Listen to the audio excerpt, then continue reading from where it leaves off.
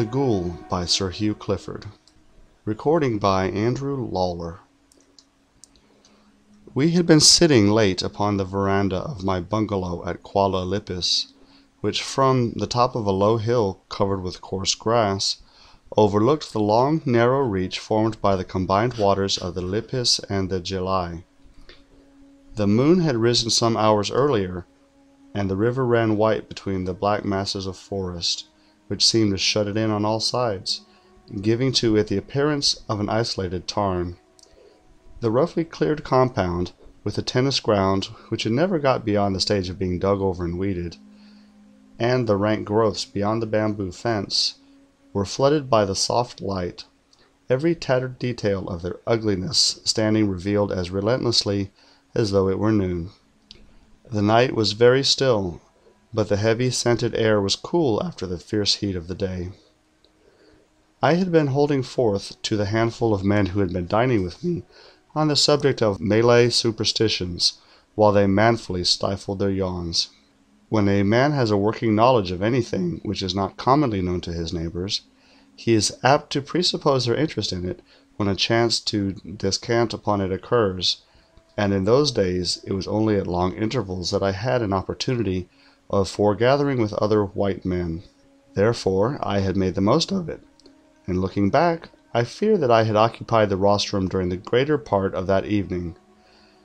I had told my audience of the Penanggal, the undone one, that horrible wraith of a woman who has died in childbirth, who comes to torment and prey upon small children in the guise of a ghastly face and bust with a comet's tail of blood-stained entrails flying in her wake.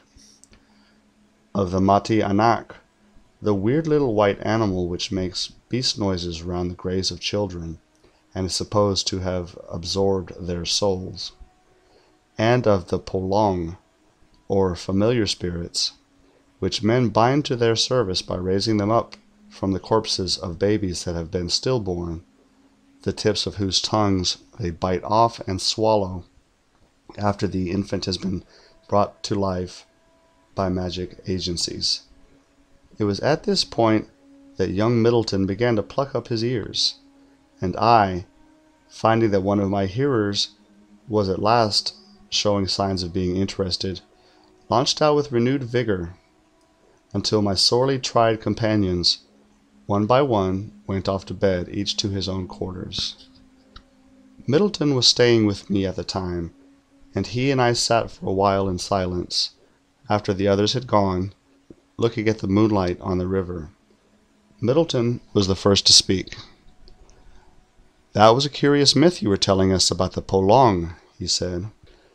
There is an incident connected with it which I have never spoken of before and have always sworn that I would keep to myself.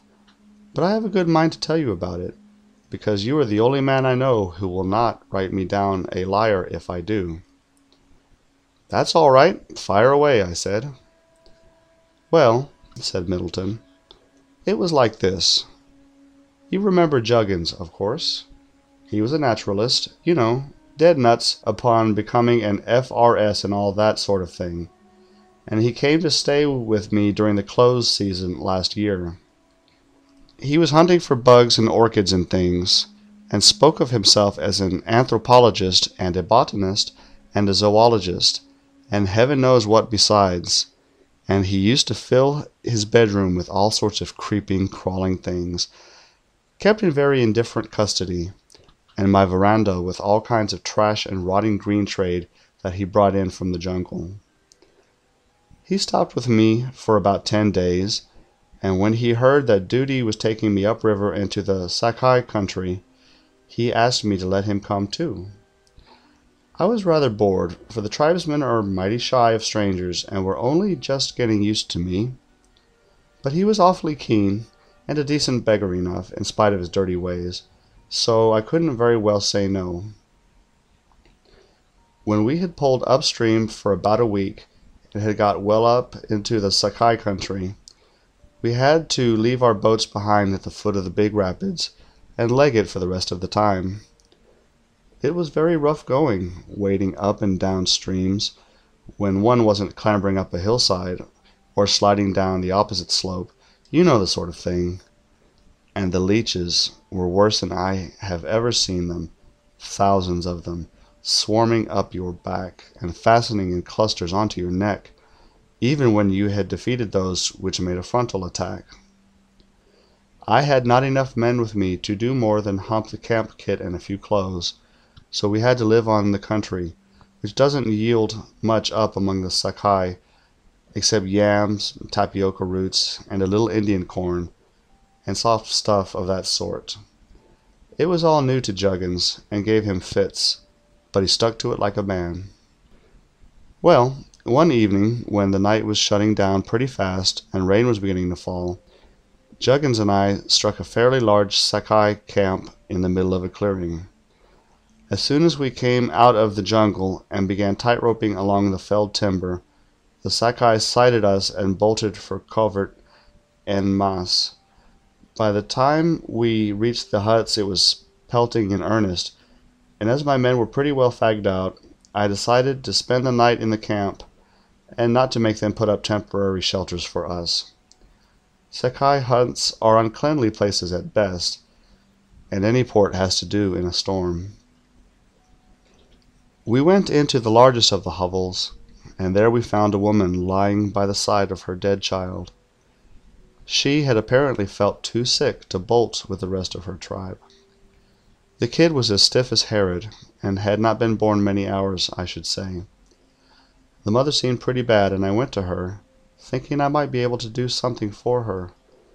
But she did not seem to see it, and bit and snarled at me like a wounded animal, clutching at the dead child the while, as though she feared I should take it from her. I therefore left her alone, and Juggins and I took up our quarters in a smaller hut near by, which was fairly new and not so filthy dirty as most Sakai lairs. Presently, when the beggars who had run away found out that I was the intruder, they began to come back again. You know their way. First a couple of men came and peeped at us, and vanished as soon as they saw they were observed. Then they came a trifle nearer, bobbed up suddenly, and peeped at us again. I called to them in Senoi, which always reassures them, and when they at last summoned up courage to approach, gave them each a handful of tobacco. Then they went back into the jungle and fetched the others, and very soon the place was crawling with Sakai of both sexes and all ages. We got a meal of sorts, and settled down for the night as best we could. But it wasn't a restful business. Juggins swore with eloquence at the uneven flooring, made of very roughly trimmed boughs, which is an infernally uncomfortable thing to lie down upon, makes one's bones ache as though they were coming out at the joints. And the Sakai are abominably restless bedfellows as you know. I suppose one ought to realize that they have as yet only partially emerged from the animal, and that, like the beasts, they are still naturally nocturnal. Anyway, they never sleep for long at a stretch, though from time to time they snuggle down and snore among the piles of warm wood ashes around the central fireplace. And whenever you wake, you will always see half a dozen of them squatting near the blazing logs, half hidden by the smoke, and jabbering like monkeys. It is a marvel to me what they find to yarn about food, or rather the patent impossibility of ever getting enough to eat, and the stony heartedness of Providence and of the neighboring Malays must furnish the principal topics, I should fancy, with an occasional respectful mention of beasts of prey and forest demons. That night they were more than ordinarily restless. The dead baby was enough to make them uneasy, and besides they had got wet while hiding in the jungle after our arrival, and that always sets the skin disease, with which all Sakai are smothered, itching like mad. Whenever I woke I could hear their nails going on their dirty hides, but I had had a hard day, and was used to my host's little ways, so I contrived to sleep fairly sound. Juggins told me next morning that he had had une nuit blanche, and he nearly caused another stampede among the Sakai by trying to get a specimen of the fungus or bacillus or whatever it is that occasions a skin disease. I do not know whether he succeeded. For my own part, I think it is probably due to chronic anemia, Poor devils have never had more than a, a very occasional full meal for hundreds of generations. I have seen little brats hardly able to stand, white with it, the skin peeling off in flakes, and I used to frighten Juggins out of his senses by telling him he had contracted it when his nose was flayed by the sun. Next morning I woke just in time to see the stillborn baby put into a hole in the ground. They fitted its body into a piece of bark and stuck it in the grave they had dug for it at the edge of the clearing. They buried a flint and steel, and a wood knife, and some food, and a few other things with it, though no living baby could have had any use for most of them, let alone a dead one. Then the old medicine man of the tribe recited the ritual over the grave. I took the trouble to translate it once. It goes something like this O thou who hast gone forth from among those who dwell upon the surface of the earth, and hast taken for thy dwelling place the land which is beneath the earth, flint and steel have we given thee to kindle thy fire, raiment to clothe thy nakedness, food to fill thy belly, and a wood knife to clear thy path. Go then, and make unto thyself friends among those who dwell beneath the earth and come back no more to trouble or molest those who dwell upon the surface of the earth. It was short and to the point, and then they trampled down the soil, while the mother, who had got upon her feet by now, whimpered about the place like a cat that had lost its kittens. A mangy, half starved dog came and smelt hungrily about the grave until it was sent howling away by kicks from every human animal that could reach it, and a poor little brat, who chanced to set up a piping song a few minutes later, was kicked and cuffed and knocked about by all who could conveniently get at him with foot, hand, or missile. Abstinence from song and dance for a period of nine days is the Sakai way of mourning the dead, and any breach of this is held to give great offense to the spirit of the departed and to bring bad luck upon the tribe. It was considered necessary therefore, to give the urchin who had done the wrong a fairly bad time of it, in order to propitiate the implacable dead baby. Next the Sakai set to work to pack all their household goods, not a very laborious business, and in about half an hour the last of the laden women, who was carrying so many cooking pots and babies and rattan bags and carved bamboo boxes and things, that she looked like the outside of a gypsy's cart at home, had filed out of the clearing and disappeared in the forest. The Sakai always shift camp like that when a death occurs, because they think the ghost of the dead haunts the place where the body died. When an epidemic breaks out among them, they are so busy changing quarters, building new huts, and planting fresh catch crops that they have no time to procure proper food, and half those who are not used up by the disease die of semi starvation. They are a queer lot. Well, Juggins and I were left alone, but my man needed a rest, so I decided to trek no farther that day, and Juggins and I spent our time trying to get a shot at a seladang. But though we came upon great plowed up runs, which the herds had made going down to water, we saw neither hoof nor horn, and returned at night to the deserted Sakai camp, two of my Malays fairly staggering under the piles of rubbish which Juggins called his botanical specimens. The men we had left behind had contrived to catch some fish, and with that and yams we got a pretty decent meal, and I was lying on my mat, reading by the aid of a damar torch, and thinking how lucky it was that the Sakai had cleared out, when suddenly old Juggins sat up, with his eyes fairly snapping at me through his gig lamps in his excitement. "I say," he said, "I must have that baby. It would make a unique and invaluable ethnological specimen." "Rot!" I said. "Go to sleep, old man. I want to read." "No, but I'm serious," said Juggins. "You do not realize the unprecedented character of the opportunity. The Sakai have gone away, so their susceptibilities would not be outraged. The potential gain to science is immense, simply immense. It would be criminal to neglect such a chance. I regard the thing in the light of a duty which I owe to human knowledge. I tell you straight I mean to have that baby whether you like it or not, and that is flat." Juggins was forever talking about human knowledge, as though he and it were partners in a business firm. "It is not only the Sakai one has to consider," I said. "My Malays are sensitive about body snatching, too. One has to think about the effect upon them." "I can't help that," said Juggins resolutely. "I am going out to dig it up now." He had already put his boots on, and was sorting out his botanical tools in search of a trowel. I saw that there was no holding him.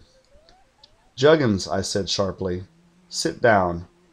You are a lunatic, of course, but I was another when I allowed you to come up here with me, knowing as I did that you are the particular species of crank you are.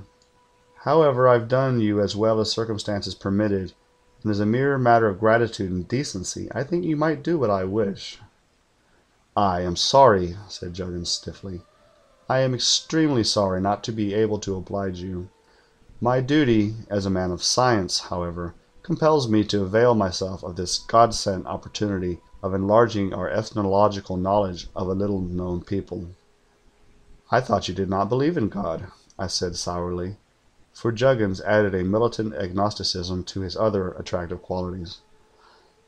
"I believe in my duty to human knowledge," he replied sententiously and if you will not help me to perform it, I must discharge it unaided."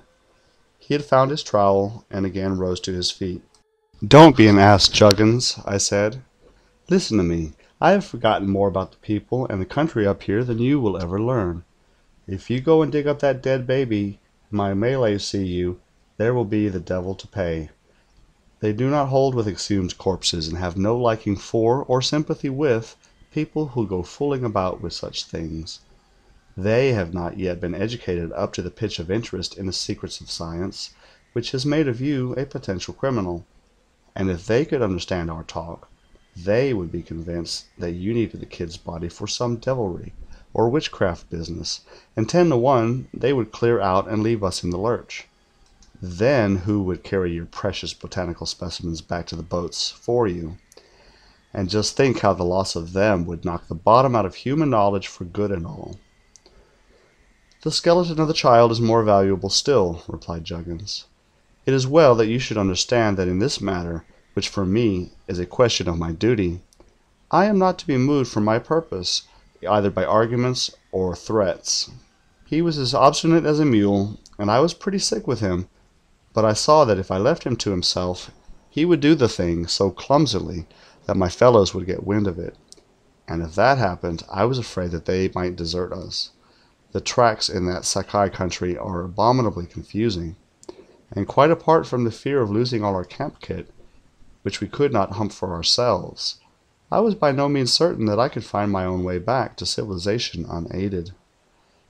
Making a virtue of necessity, therefore, I decided that I would let Juggins have his beastly specimen provided that he would consent to be guided entirely by me in all details connected with the exhumation. "You are a rotter of the first water," I said frankly, "and if I ever get you back to my station I'll have nothing more to do with you as long as I live. All the same, I am to blame for having brought you up here, and I suppose I must see you through." "You're a brick," said Juggins, quite unmoved by my insults. Come on." "Wait," I replied repressively. "This thing cannot be done until my people are all asleep. Lie down on your mat and keep quiet. When it is safe, I'll give you the word." Juggins groaned, and tried to persuade me to let him go at once, but I swore that nothing would induce me to move before midnight, and with that I rolled over on my side, and lay reading and smoking while Juggins fumed and fretted as he watched the slow hands of his watch creeping round the dial. I always take books with me into the jungle, and the more completely incongruous they are to my immediate surroundings, the more refreshing I find them. That evening, I remember, I happened to be rereading Miss Florence Montgomery's Misunderstood, with the tears running down my nose, and by the time my Malays were all asleep this incidental wallowing in sentimentality had made me more sick with Juggins and his disgusting project than ever.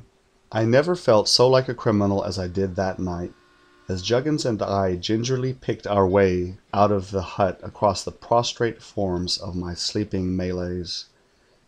Nor had I realized before what a difficult job it is to walk without noise on an open work flooring of uneven boughs. We got out of the place and down the crazy stair ladder at last, without waking any of my fellows and we then began to creep along the edge of the jungle that hedged the clearing about. Why did we think it necessary to creep? I don't know. Partly we did not want to be seen by the Malays, if any of them happened to wake.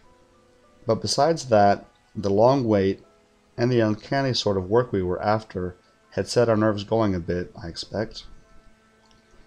The night was as still as most nights are in real Pukka jungle. That is to say, that it was as full of noises, little, quiet, half heard beast and tree noises, as an egg is full of meat, and every occasional louder sound made me jump almost out of my skin. There was not a breath astir in the clearing, but miles up above our heads the clouds were racing across the moon, which looked as though it were scudding through them in the opposite direction at a tremendous rate like a great white fire balloon. It was pitch dark along the edge of the clearing, for the jungle threw a heavy shadow, and Juggins kept knocking those great clumsy feet of his against the stumps, and swearing softly under his breath. Just as we were getting near the child's grave, the clouds obscuring the moon became a trifle thinner, and the slightly increased light showed me something that caused me to clutch Juggins by the arm. "Hold hard!" I whispered, squatting down instinctively in the shadow and dragging him after me. "What's that on the grave?" Juggins hauled out his six shooter with a tug, and looking at his face I saw that he was as pale as death, and more than a little shaky. He was pressing up against me, too, as he squatted, a bit closer, I fancied, than he would have thought necessary at any other time, and it seemed to me that he was trembling. I whispered to him, telling him not to shoot, and we sat there for nearly a minute, I should think, peering through the uncertain light, and trying to make out what the creature might be which was crouching above the grave and making a strange scratching noise. Then the moon came out suddenly into a patch of open sky, and we could see clearly at last, and what it revealed did not make me, for one, feel any better. The thing we had been looking at was kneeling on the grave, facing us.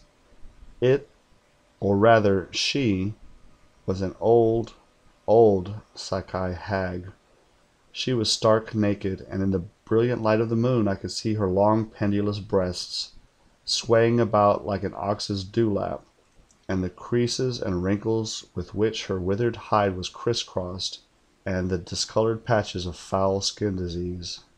Her hair hung about her face in great matted locks, falling forward as she bent above the grave, and her eyes glinted through the tangle like those of some unclean and shaggy animal. Her long fingers, which had nails like claws, were tearing at the dirt of the grave, and her body was drenched with sweat so that it glistened in the moonlight. "It looks as though some one else wanted your precious baby for a specimen, Juggins. I whispered, and the spirit of emulation set him floundering onto his feet till I pulled him back. "Keep still, man," I added. "Let us see what the old hag is up to. It isn't the brat's mother, is it?" "No," panted Juggins. "This is a much older woman. Great God! What a ghoul it is!" Then we were silent again. Where we squatted we were hidden from the hag by a few tufts of rank lalang grass, and the shadow of the jungle also covered us. Even if we had been in the open, however, I question whether the old woman would have seen us, she was so eagerly intent upon her work.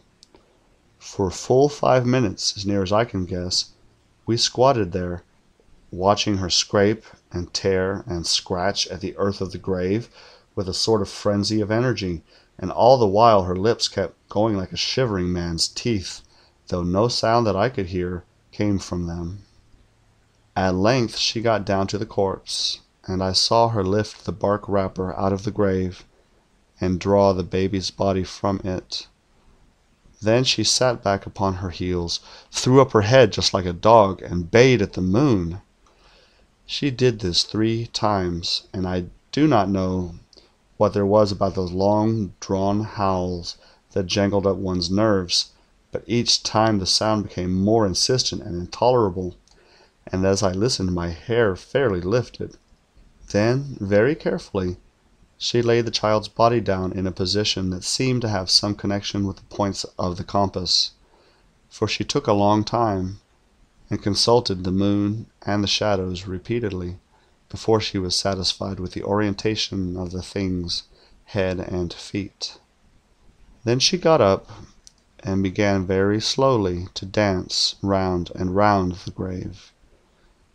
It was not a reassuring sight out there in the awful loneliness of the night, miles away from everyone and everything, to watch that abominable old beldam capering uncleanly in the moonlight while those restless lips of hers called noiselessly upon all the devils in hell with words that we could not hear.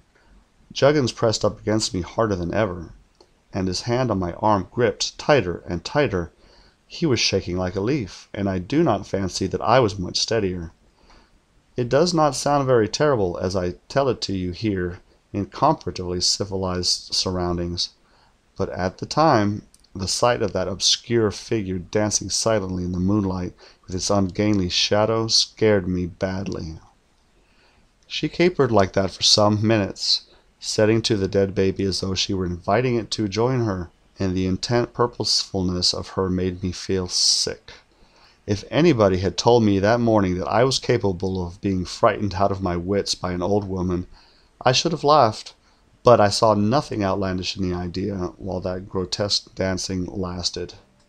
Her movements, which had been very slow at first, became gradually faster and faster till every atom of her was in violent motion, and her body and limbs were swaying this way and that, like the boughs of a tree in a tornado. Then, all of a sudden, she collapsed on the ground, with her back towards us, and seized the baby's body. She seemed to nurse it, as a mother might nurse her child, and as she swayed from side to side, I could see first the curve of the creature's head resting on her thin left arm and then its feet near the crook of her right elbow. And now she was crooning to it in a cracked falsetto chant that might have been a lullaby or perhaps some incantation. She rocked the child slowly at first, but very rapidly the pace quickened until her body was swaying to and fro from the hips and from side to side at such a rate that, to me, she looked as though she were falling always at once and simultaneously her shrill chanting became faster and faster, and every instant more nerve-sawing. Next she suddenly changed the motion. She gripped the thing she was nursing by its arms, and began to dance it up and down, still moving with incredible agility, and crooning more damnably than ever. I could see the small puckered face of the thing above her head every time she danced it up, and then, as she brought it down again, I lost sight of it for a second until she danced it up once more. I kept my eyes fixed upon the thing's face every time it came into view, and I swear it was not an optical illusion. It began to be alive. Its eyes were open and moving, and its mouth was working like that of a child which tries to laugh but is too young to do it properly. Its face ceased to be like that of a newborn baby at all. It was distorted by a horrible animation. It was the most unearthly sight. Juggins saw it, too, for I could hear him drawing his breath harder and shorter than a healthy man should. Then, all in a moment, the hag did something. I did not see clearly precisely what it was, but it looked to me as though she bent forward and kissed it, and at that very instant a cry went up like the wail of a lost soul. It may have been something in the jungle, but I know my Malayan forests pretty thoroughly, and I have never heard any cry like it before nor since. The next thing we knew, was that the old hag had thrown the body back into the grave, and was dumping down the earth and jumping on it, while that strange cry grew fainter and fainter. It all happened so quickly that I had not had time to think or move before I was startled back into full consciousness by the sharp crack of Juggins' revolver fired close to my ear. "She's burying it alive!" he cried. It was a queer thing for a man to say who had seen the child lying stark and dead more than thirty hours earlier, but the same thought was in my mind, too, as we both started forward at a run. The hag had vanished into the jungle as silently as a shadow. Juggins had missed her, of course. He was always a rotten bad shot. However, we had no thought for her. We just flung ourselves upon the grave and dug at the earth with our hands until the baby lay in my arms. It was cold and stiff, and putrefaction had already begun its work. I forced open its mouth and saw something that I had expected. The tip of its tongue was missing. It looked as though it had been bitten off by a set of shocking bad teeth, for the edge left behind was like a saw. "The thing's quite dead," I said to Juggins. "But it cried! It cried!" whimpered Juggins. I can hear it now. To think that we let that horrible creature murder it!" He sat down with his head in his hands. He was utterly unmanned. Now that the fright was over, I was beginning to be quite brave again. It is a way I have. "Rot!" I said. "The thing's been dead for hours, and anyway, here's your precious specimen, if you want it." I had put it down, and now pointed at it from a distance. Its proximity was not pleasant. Juggins, however, only shuddered. "Bury it, in Heaven's name!" he said, his voice broken by sobs. "I would not have it for the world. Besides, it was alive. I saw and heard it." Well, I put it back in its grave, and next day we left the Sakai country. Juggins had a whacking dose of fever, and anyway we had had about enough of the Sakai and of all their engaging habits to last us for a bit. We swore one another to secrecy as Juggins, when he got his nerve back, said that the accuracy of our observations was not susceptible of scientific proof, which, I understand, was the rock his religion had gone to pieces on, and I did not fancy being told that I was drunk or that I was lying. You, however, know something of the uncanny things of the East, so tonight I have broken our vow. Now I'm going to turn in. Don't give me away. Young Middleton died of fever and dysentery, somewhere up country, a year or two later. His name was not Middleton, of course, so I am not really giving him away, as he called it, even now.